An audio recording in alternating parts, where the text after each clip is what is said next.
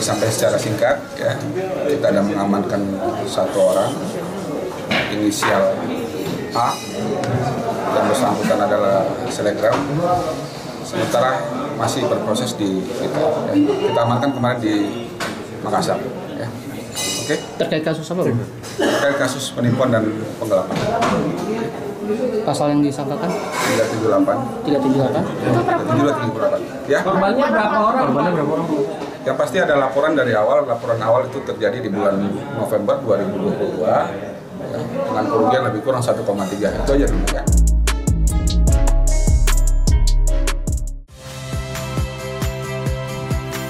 Saya Ihsan Sitorus.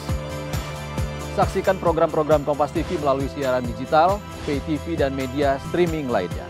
Kompas TV, independen, terpercaya.